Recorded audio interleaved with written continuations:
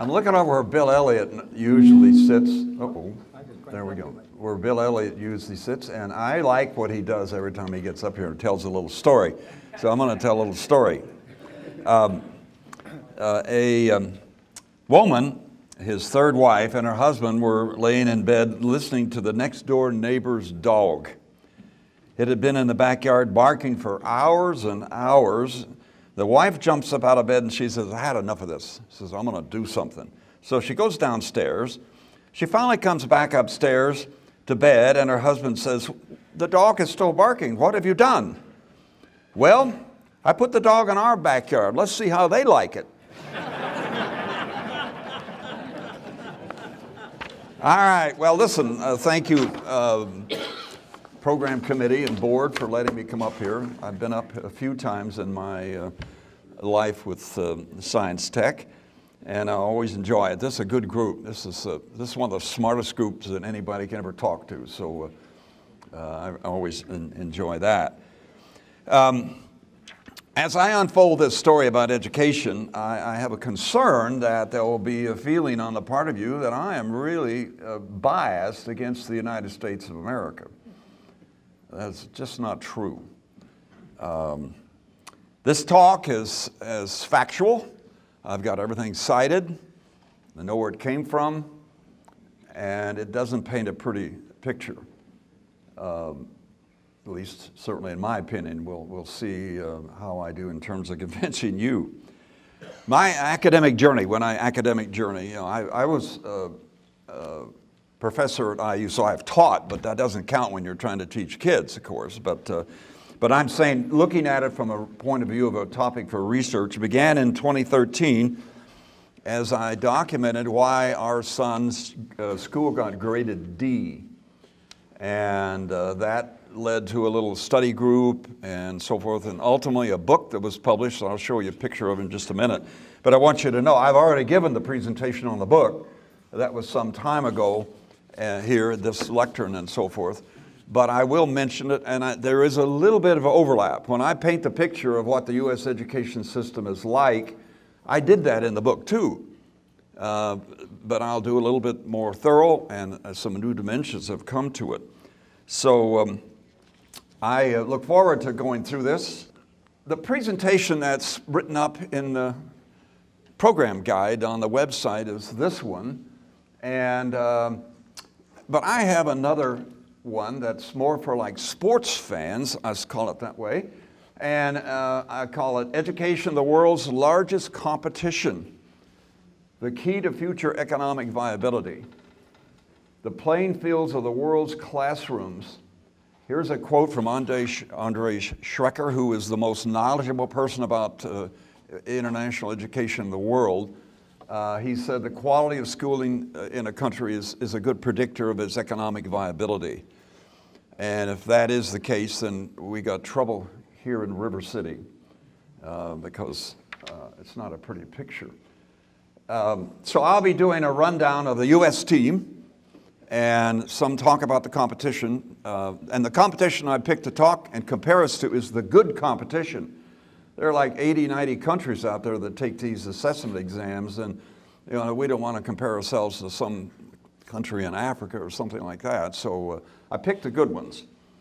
All right, I said I wrote a book uh, written on education. Started in, the whole thing started in like 2013, and the book was published um, at the end of um, December, late December in 2017.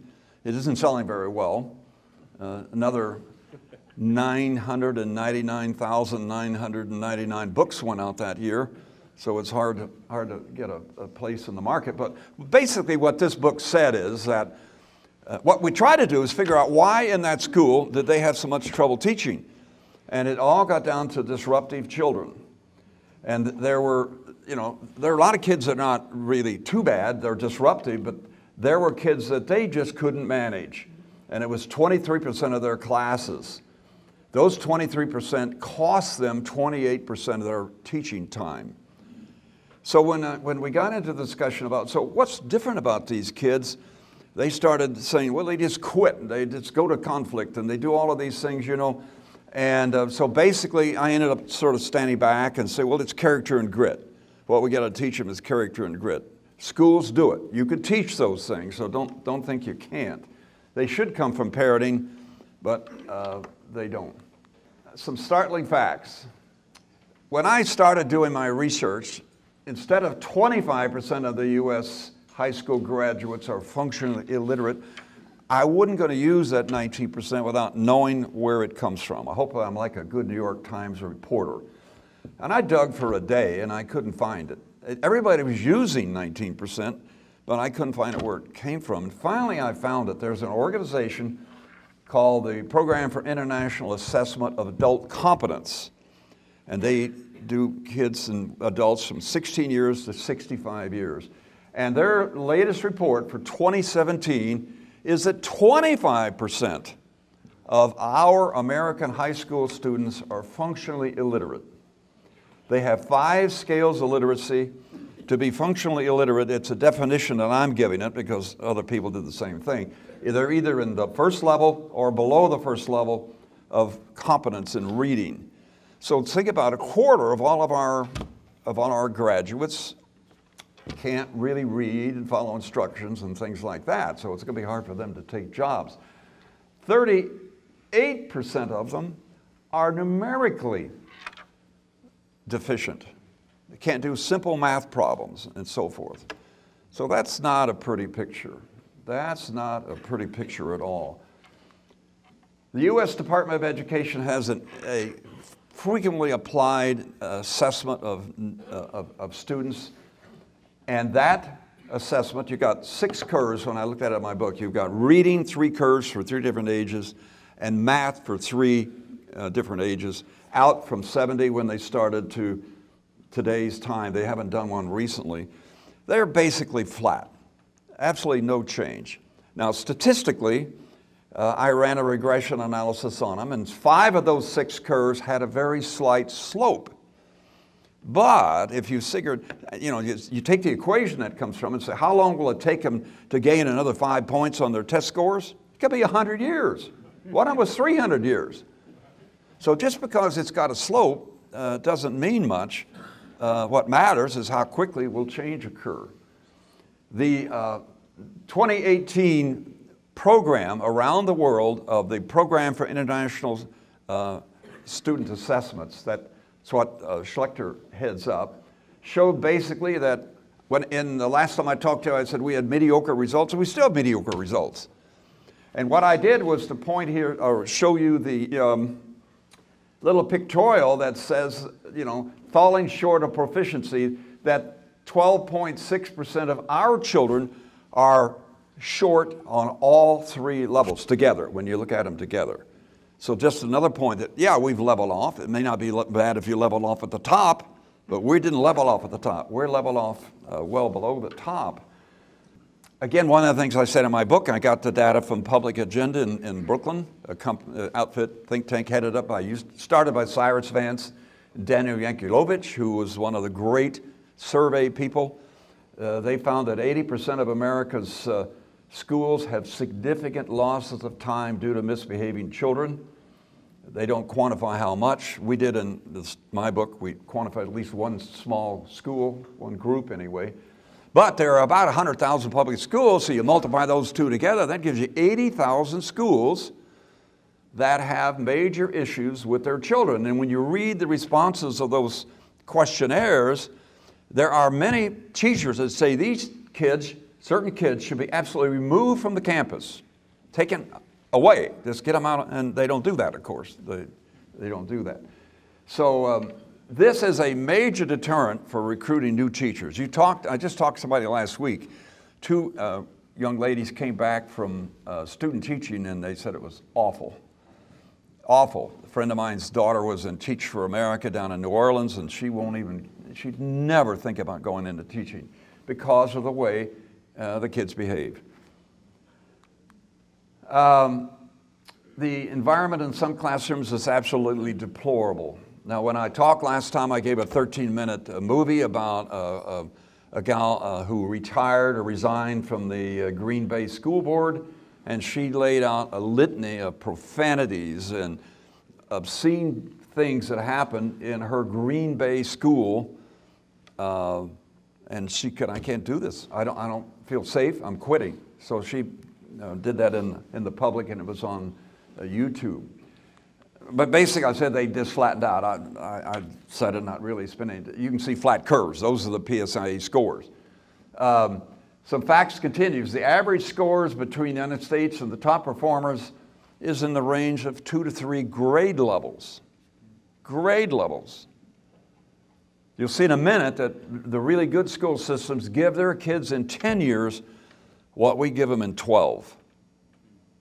And uh, so that's, now a lot of them are Asians, and they have a really fantastic work ethic, you know, and parental support, but that's our competition. Uh, U.S. millennials are some of the least well-educated uh, people in America.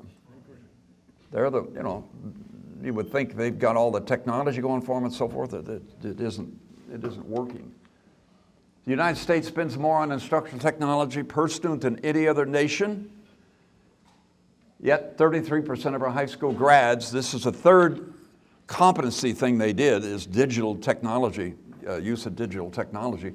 33% of our uh, children are technologically deficient in skills. So one third of our kids come out of high school where they've been exposed to computers their entire life and they really can't solve even the simplest digital problem. So technology isn't working. You know, we all get the feeling, well, the, the teacher will be obsolete and uh, we'll let the computer do it all. But uh, that just hasn't worked yet. Uh, Mitch Daniels put out a letter to the um, alums a, a year ago, and in that letter he points out that the most frequent grade given in high school these days are A's. So how do our school administrators deal with these issues? They give them A's. Now, from their point of view, I can see why you'd want to do that. It keeps the parents off your back, keeps the kids off your back. The administration feels good about it. You know, how happy our kids are. It's just that on international scale, they're nowhere near an A student. My nephew's son graduated from a, a high school in uh, Kentucky, and in the commencement ceremony, they pointed out how 53% of the class was graduating with honors. And the next year was even going to be higher.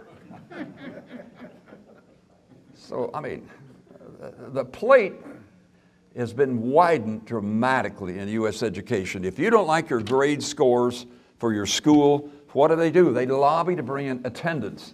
They lobby to bring in other things to dilute the role of the test scores so they get a better grade. So again, a, a case of widening of the plate.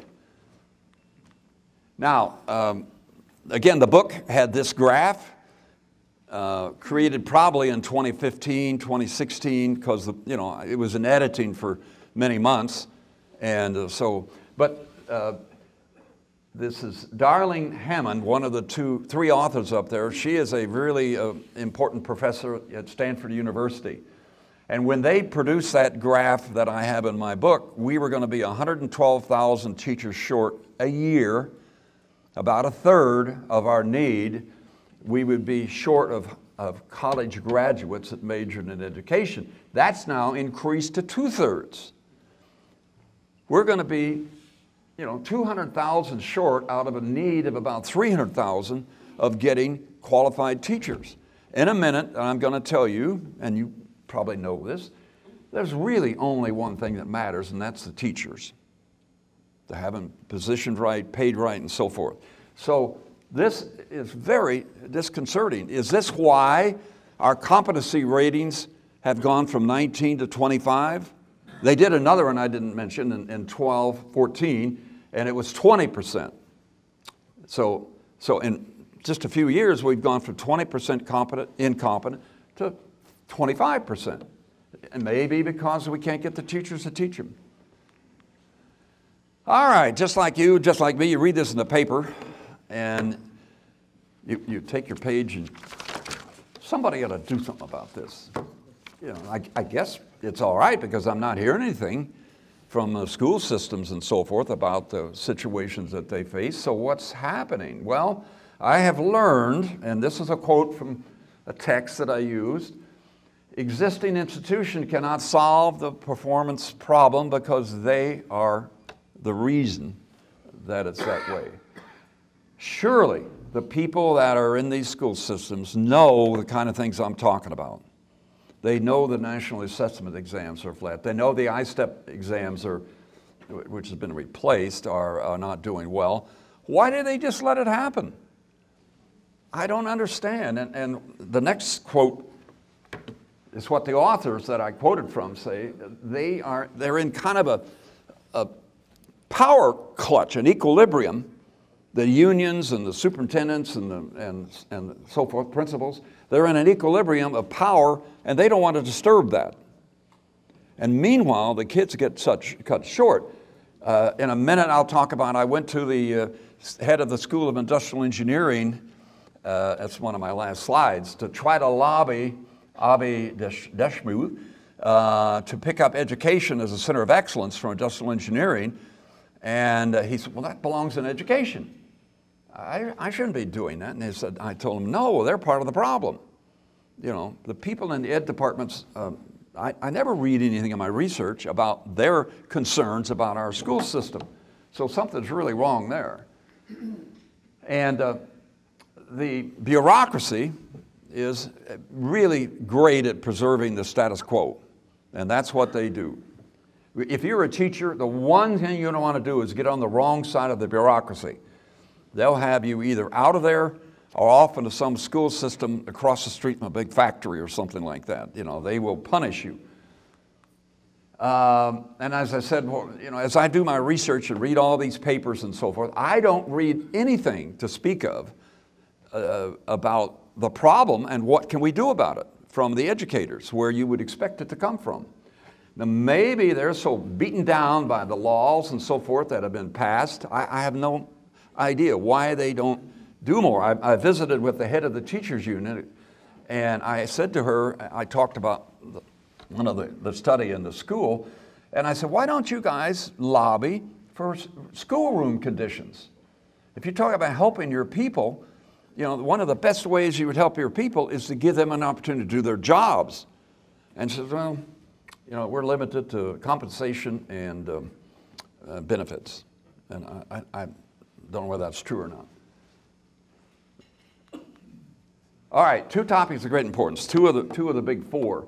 Intrinsic motivation. Now, I have, I have come to the conclusion from my work that that is a major, major element in the whole situation we're talking about here. That people go to school, people teach school uh, to a large extent because of intrinsic motivation. Teachers have extrinsic motivation in the form of salaries but if you're a teacher, for the most part, you're dedicated. It's a calling, and it's intrinsic motivation that does it. And I'm not talking about reading. All right, the, the best model that I have seen of, of intrinsic motivation comes from uh, the University of Rochester, and it was done in the 70s. Um, and there are three basic needs competency, ability to do something well, autonomy, exercise control over one's life, and then uh, relatedness, being on a good team, being a member of a good family, being a member of a good club. Uh, that, those are the three things that they think motivate us. And that's why a lot of us, why are we here today? You know, you, you get some competency from the speakers usually. We usually gain knowledge. Autonomy, you don't have to come. That gives you some autonomy. You know, you don't have to pay for the meal unless you come and relatedness, it's a good club. I enjoy my table back here, my colleagues, and it's intrinsically motivating. So we're going to keep that in mind now. Reading. When, when you look at the stats and so forth, we do not produce good readers in America. Uh, I got one more point that a large, a large number of just aren't reading proficiently. But reading, as we all know, is a, is a topic of obvious and critical relevance to learning. I had a long phone relationship with a teacher down in uh, uh, San Antonio, Texas, and she said, Dick, reading is everything. If you can't read, you can't do history, you can't do math, you can't do English, you can't do all of those things. So if a, if a child doesn't know how to read, uh, they don't learn. So if a child is not reading at grade level by the end of the third grade, just an ordinary student, they're four times less likely to graduate. And if they come from the poor strata, they're six times less likely to graduate. So I'll explain a little bit of that why. There is an undeniable connection between literacy skills and incarceration rates. So I usually don't talk about downstream stuff. You know, I, I worry about getting the kids educated today. But if you look at that little uh, chart there, the 20% is the 20% that used to prevail in terms of competency, which should now be upgraded to 25, but I don't have a graphic that does that. So I use this at 20. 20% of the children are functionally illiterate. Now that's to say 25%. The next one says 70% of these, uh, of these kids, uh, I meant read it off here. I can't read it off here. There is a strong relationship between reading skills and ended up in jail uh, for whatever. So, social promotion. I had a focus group interview with, with a bunch of folks from the uh, group called Fathers and Families, which is es- Eskenazi Health uh, System Organization. And they just happened to all be black because I wanted to, I talked to the leader of the thing about how are black attitudes about uh, education. And we had a focus group interview, and one of the questions was, How do you feel about social promotion? And they, What's that? So I had, a, I had a guy that was running the meeting, he explained to him what social promotion was, where you advance a child even though they are not competent in the skills they should have learned in the third grade, you move on to the fourth grade. And once they heard that, they just rebelled against it. Absolutely not. You cannot advance those kids unless they're ready. So, uh, social promotion, you got somebody that's going to leave the third grade, they can't read at anywhere close to third grade level, and you promote them. And what happens? Go back to the intrinsic uh, uh, picture. Their competency does not grow. The red thing on the, on the one end, their competence doesn't grow. Their intrinsic motivation dies, and they die on the vine. And they're in class, They they know they're lost, you know, and some of them quit. Uh, very few of them graduate. So that's why intrinsic motivation. If you don't keep the competency level up, they're not going to want to stay in school because, uh, you know, they can compete if you do. Every child can learn to read. Can every child learn to read? So I, I, asked myself, and I did a lot of research, can every child, why do we have so much trouble with reading in this country? Maybe there is something wrong with some of our brains that we just can't read, don't know how to read. Um, and I couldn't get anybody to answer that. I talked to a psychology friend of mine down at IU who was Professor Buddy, and um, he, he, said, no, he doesn't think that's true at all. But then I found a study that uh, low IQs are capable of being taught to read. They took a, a, they took a group of kids that had pretty low IQs and they taught them how to read. Well, the way I look at that, if my analytical perspective, is if we can educate the lower tail, then we ought to be able to educate the rest of the distribution. And that's what I say now. So um, if we are not teaching how to read, it's our fault. It's the parents' fault. There's nothing wrong with the kids. One teacher's dilemma. This is my daughter in law. She came over last night. They, we watched the Super Bowl together. She's a kindergarten teacher at a Marion County school. She has 26 students. 17 of them come to school with what she calls no print concepts. They can't identify the front of the book. They can't identify, they don't know how to read from left to right. They, didn't know, they have no idea how to approach the text from the bottom up, from the top down, from the right to the left, or whatever. They have no feeling for that whatsoever. And um, let's see, and nine children uh, uh, nine children are okay readers. So the question you ask is, so what's going to happen to these okay readers and what's going to happen to the rest of them? Well, I'll tell you right now, one teacher who's got a class of 26 kids is not going to bring those 17 kids up the curve to have them reading.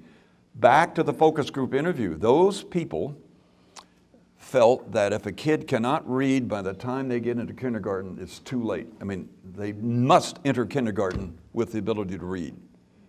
So basically, what I told these folks when I got done, men and women, was that, you know, I could have had this conversation with a bunch of white people in, in Washington Township, and it, it, it's all the same. And I don't know how many times I have to learn that lesson. Uh, you know, they think like we do. These people did anyway. So um, at least I know that now. Okay, so uh, the other thing that's really bad is that she told me she spends 60% of her time in discipline and classroom management. 60%. So she needs help. She needs at least one other teacher, maybe two other teachers. And we're going to see in a minute, that's how they do it in, in the international world. Okay, here's a chart, a little group participation now. Uh, what slide are we on? Anybody see that? Number 15. This will be the longest slide. Uh, this is on collaborative learning, uh, collaborative problem solving, and it plots the United States against Hong Kong, and along the x-axis at the far left are the most uh, deprived uh, socioeconomic students. And then the second quartile, third quartile, and then the, on the far right are the most advantaged. And then up on the x-axis are the scores of their exams in this particular, particular thing. So the question I have for you guys is if you want to increase your scores, how are you going to do it? You're not going to get anything out of the upper end. That's going to be like the pivot point. So what you got to do is you got to you got to take the lower end and raise it up.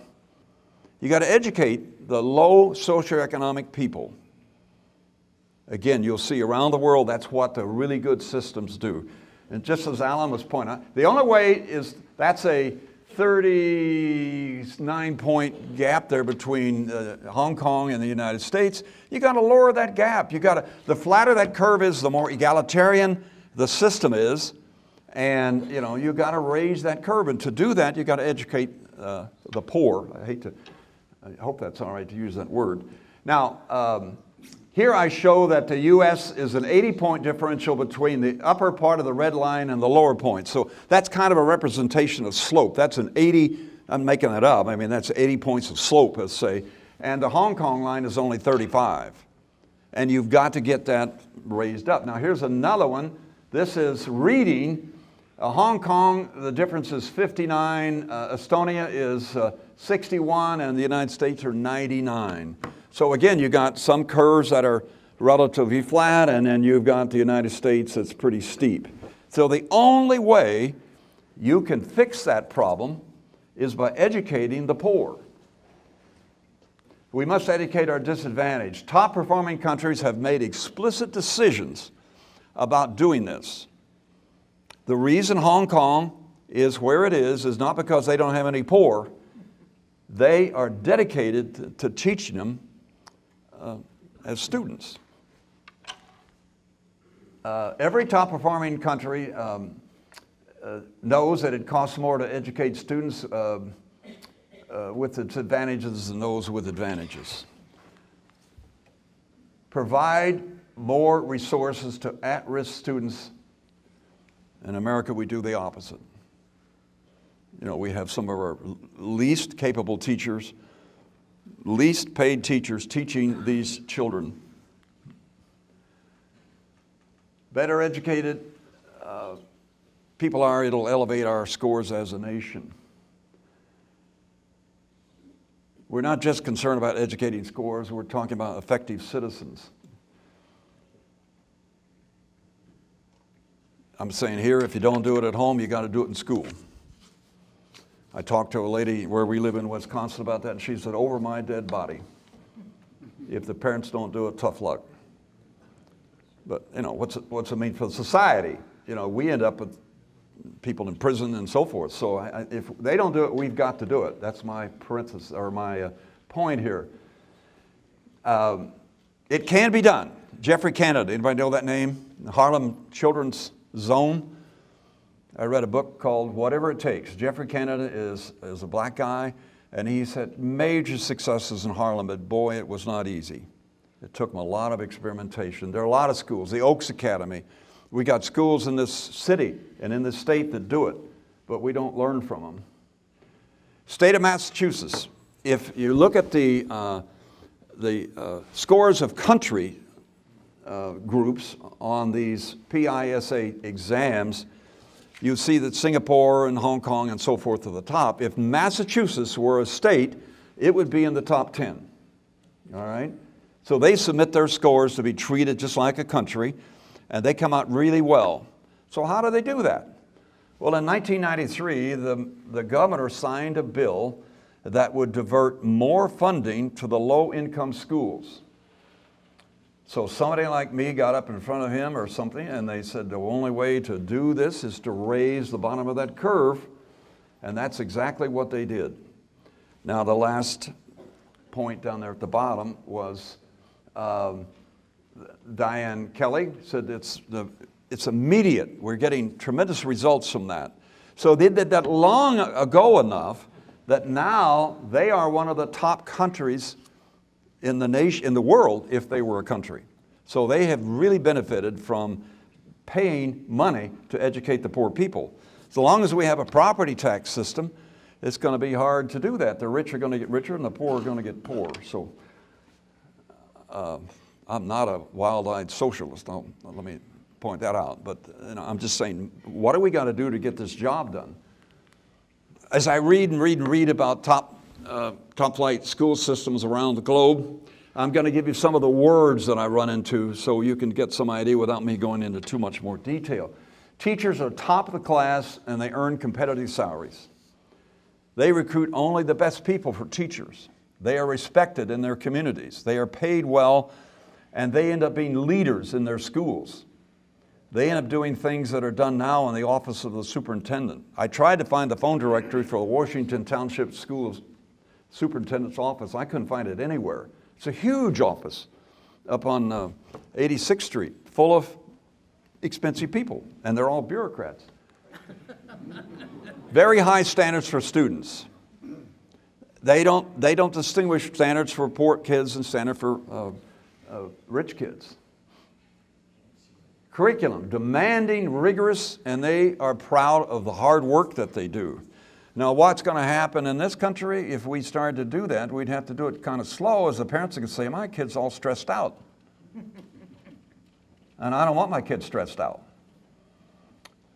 Well, that, that, I mean, that's between a family and a school, but in terms of the global international picture, uh, a lot of these other kids are really stressed out in China and so forth, and sometimes it's even cruel.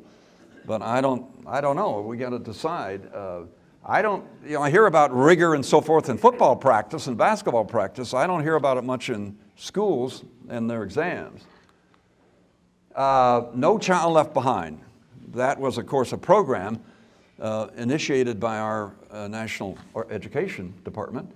And uh, it just kind of fell on deaf ears. They legislated it and said, this is what we're going to do, here are the rules and so forth. But in these countries, that is an absolute uh, outcome if they have to go to school on Saturdays, they have to go to school more weeks in a day, they have to go to school in summers, that's what they do. They leave no child behind. The Oaks Academy leaves no child behind. Kaizen.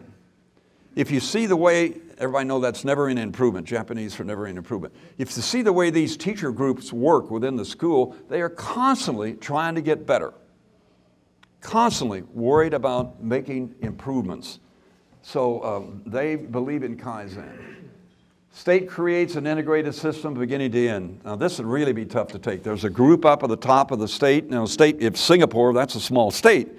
Same way with Hong Kong. But they do everything. They send down the syllabi, they send down the exams, they tell the schools of education how they should educate their teachers.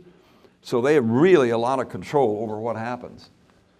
Um, demand competency at every stage, no social promotion, uh, offer a variety of tracks, and I'll show you that in a minute. Flat organization, teachers have power, teachers have uh, no autonomy. I, in my book, I say they're the least empowered profession in America. They are like serfs on an early uh, organization in Europe. Teachers are the key. The top performers have built their systems around high quality teachers. We have built our system around cheap teachers. Cheap teachers. Barely able to get by, lobbying the government all the time for more money and sometimes getting it and sometimes not. And we're now going to be 200,000 short of those every year because we don't do it right. Topics, uh, performers without exception have made these teachers the key to their success. They're leaders. One would think that a system with cheap teachers ought to be cheaper to run than one that's not. Now, all of those that come from industry, Mark, it's good to see you. Uh, we, um, we all know that when people question about quality, we can't afford to have that kind of quality. But people who got the quality realized they got paid back for it. They got their, their money back. You know, so the same thing's going to be true here.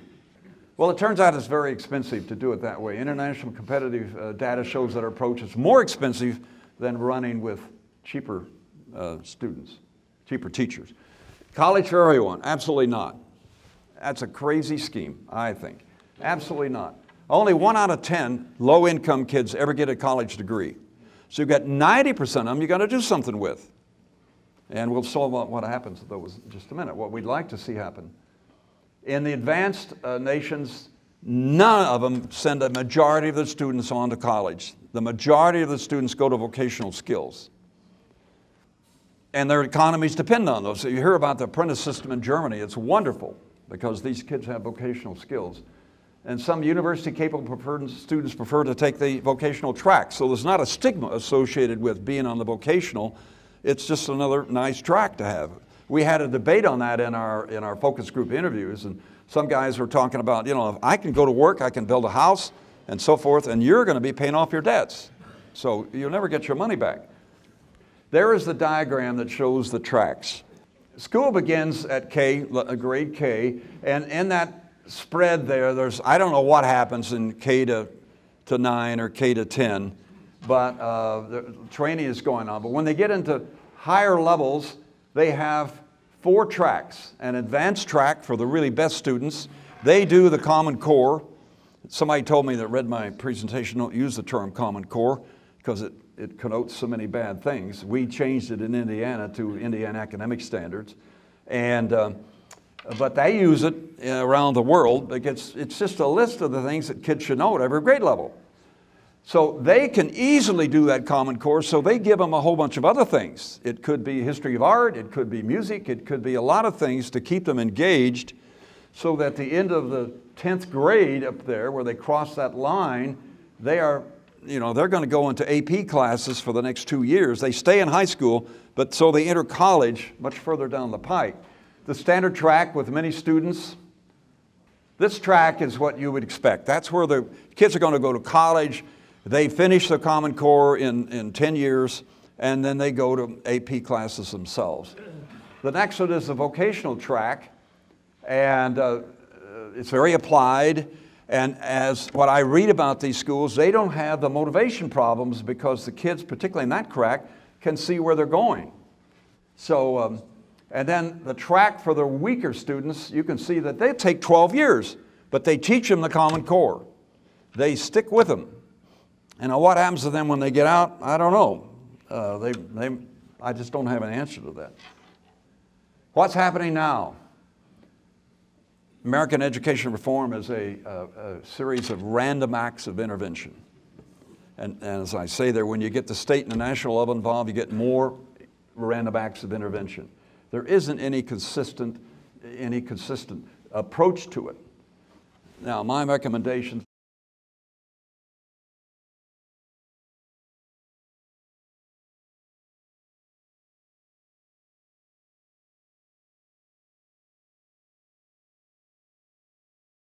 So who's going to solve this problem? Uh, the first line up there is you see industrial engineers. Well, I don't know whether the IEs at Purdue are going to pick this up or not. He just got back from a year of sabbatical, and he said that uh, I'm going to totally reorganize this group.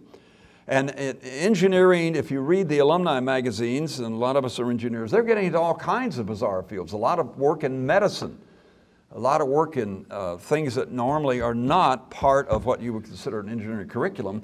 And a guy that wrote an article about my book for the Purdue kept talking about engineering thinking in education. And he kept saying that's what we need. So I tried to convince Avi to do that, and he was not very convinced. He kept thinking about should be from the Department of Education.